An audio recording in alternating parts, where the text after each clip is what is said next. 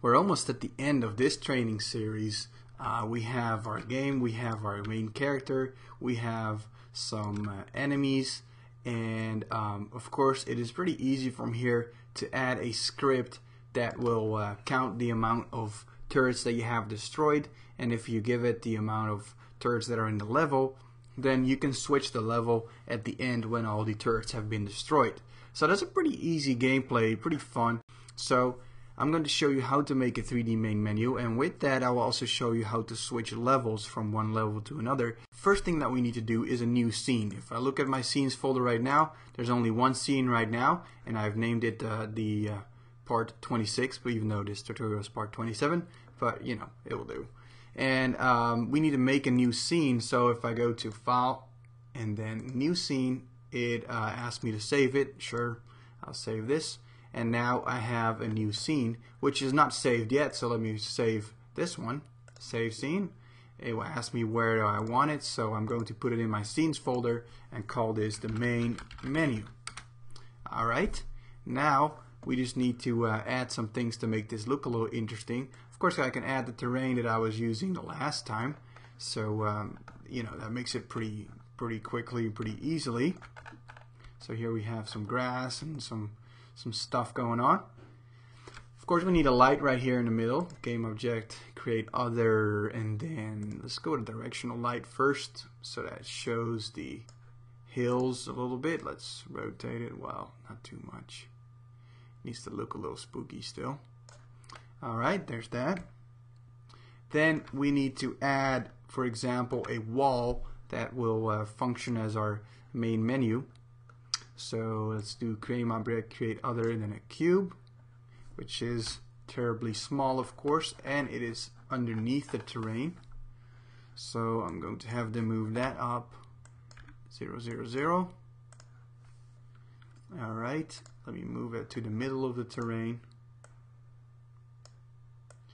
And I don't think you have any problems following along now since we're at part 27. So you're basically a game development beast right now. Alright, scale this up. Let's uh, go with 10, then also 10 in the Y. Perfect. Alright, so I'm going to place the text of the main menu right on top of here on this cube, you know, so that our camera is looking at it. It will be a main menu that actually works in 3D. Okay, so there's that. Let's angle this up a little more. Yeah, let's add another light, just a point light this time. Create it right in front of our menu, just to, just to light things up a little bit, make it a little funky. Perfect. Let me make this diffuse material white or something, just to make it look pretty, um, you know, in your face-ish. So let me just um, create a new material create material. And I'm not going to use a texture I'm just gonna just gonna use the white. Let me see. Uh, yeah. Looks pretty grayish still to me. Might have to use a texture after all. But oh well let's continue on and I'll deal with the texture later. Let's rename this one and call it uh, menu brick. Well, I guess we got to do some Roblox after all. okay, then we have this. Now we need to add some text to put on our main menu and of course some characters to make it interesting because nobody wants to play a game that looks boring. So uh, let's uh, look for our worm character. Here. Models, worm, here we go. We have our worm right here. So let's add this one to the mix. Pretty large, which is uh, which is nice. Let's scale down just a tad though, 0.5, 0.5 on all three axes. Let's rotate that puppy around a little bit. Mm -hmm. Move it down. Now it's not pretty well lit at the moment. Let's actually put them right next to the brick. just to fill things up, give it a little bit of a full feel, you know. You don't want to look at an empty level. Alright, let's put a light in front of him also so that we can see the character a little bit. That's a lot better. Of course, lit it up from the bottom so that it looks a little more scary. Alright, that looks pretty good already. Now, to make the theme of our game complete, we also need to add some turrets, of course, because the whole idea is to uh, to to kill those turrets, you know. So let's go look for the cannon.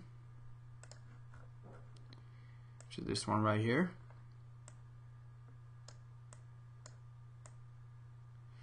Alright, let's not use this one. Let me just uh, use the prefab instead that we made last scene. Alright, because the materials are actually better on this one. Okay, now we don't want our turret to shoot because it's the main menu, so we don't want them to find the worm yet, but I think it's okay because it's not actually uh, set to look at a target. So let me make this cannon a little bigger because we want to overdo things to really show that this is a cartoony game. Let's move him down onto the floor. Rotate it a tad. Move it. Alright, looks pretty cool. Let me duplicate this. Edit, duplicate, and scale the second one down back to 1.5 I'm just doing this a little bit on the fly here. You know it's fun to play around with a visual editor like Unity. This makes things awesome. Alright let's rotate this one and actually angle it up like that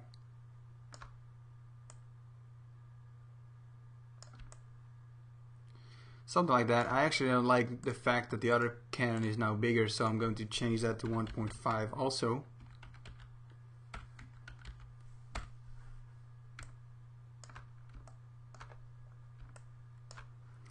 I'm going to rotate the head of this one a little bit, or actually a lot. Nah, just a little less. So that looks like a battalion of cannons. So I could add more and make them a little closer together and stuff. But for now, let's just uh, keep going. Let's look at this from the top. Something like that. Okay. Now we need to position our camera so that it actually looks like a uh, like a like um like a correct game. Like make the worm just bigger anyway. Look that's a lot more funny. Lot funnier, I should say. Perfect. Okay, now where's our camera? Camera's right there. We don't need it right there. We need it in the middle, so let's move it. And then rotate it.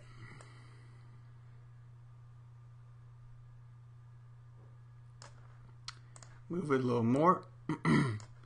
Now let's pull out our game menu so that we can see what we're creating.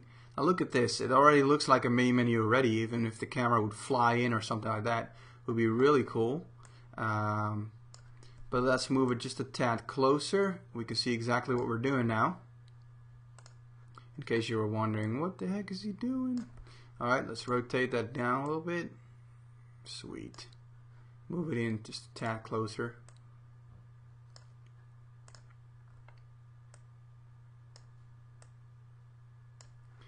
Still going to rotate it to this way.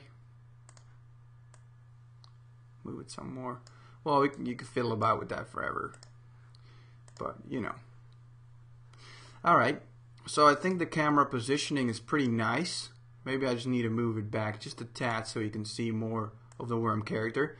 And now we're going to put the words new game and that sort of thing, quit game, right on top of here. Alright, so let me save my scene for now.